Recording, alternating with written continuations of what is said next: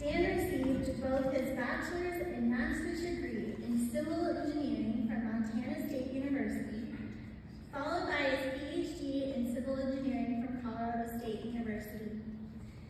Baker's love for teaching was inspired by many educators in his family, and he has taught more than 5,000 students. He is constantly working to enhance the student learning experience through engaging activities, intentional course design, and supportive classroom environment. As a Baker is most proud of engineering statics, open and interactive, an open educational resource textbook he has co-authored that receives 75,000 page views by 20,000 users per month. Please join me in welcoming Dr. Baker.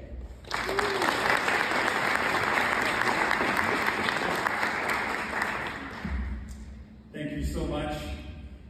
Um, this is really a an awesome recognition and honor. Uh, I appreciate all you being here tonight.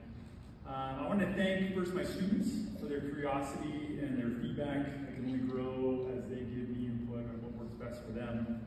Uh, my goal is to help students succeed, and this award is just part of that mission. I want to thank my colleagues for their inspiration, from those in my department, to the folks at TILT, um, to colleagues across the nation that I work with.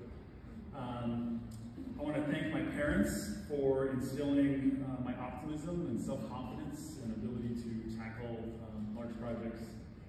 Uh, I want to thank my daughters for their questions. So, so many questions.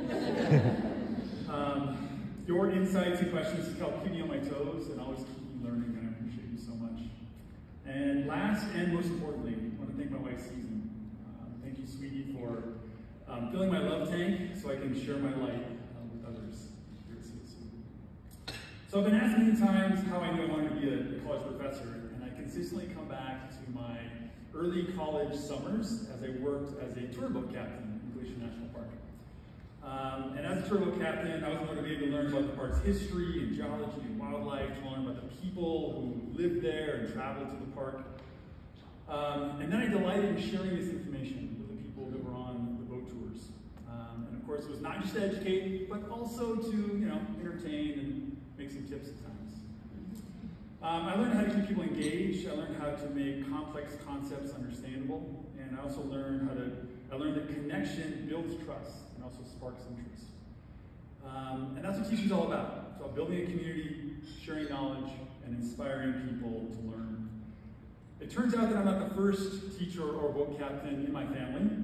Uh, my maternal grandfather was also a teacher, and in multiple of his summer breaks, he worked as a tour boat captain and I would go and visit my grandpa um, in Glacier National Park. And while I never saw him teach a class um, or coach a game, I vividly remember seeing him. Captivating passengers on that same boat that I would captain 12 years later. Grandpa Leo, this is for you. You are the best teacher, and thank you for everything you taught me. Thank you, Lightning.